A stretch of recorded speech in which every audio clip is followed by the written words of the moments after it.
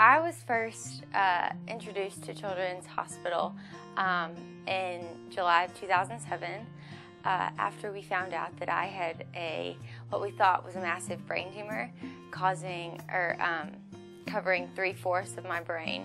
And they actually thought that I was only going to live about uh, four months. Um, and so we didn't know like if it was cancerous because we had just moved here from Kansas.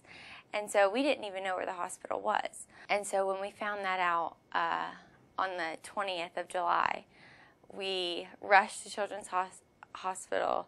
And um, four days later, I had nine hours of brain surgery with complications. I had um, an external hematoma. Uh, my brain surgeon actually said that it was the um, most complicated surgery he had ever done. And after two weeks, um, I was up and walking. I met all the PT and OT goals within the week. About three months later, around Thanksgiving of 2007, I uh, discovered a tingling sensation in my left foot. Um, a neurologist, Dr. Reddy, she diagnosed me with an unnamed autoimmune disease. And that December of 2007, uh, 45 days later in the hospital, we found out that they didn't know what I had.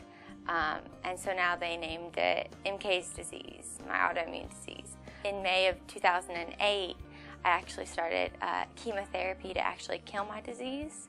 And after six rounds, um, it was gone. Um, and so I'd just like to say a big thanks to everyone. And I probably wouldn't be here today without them. So thanks.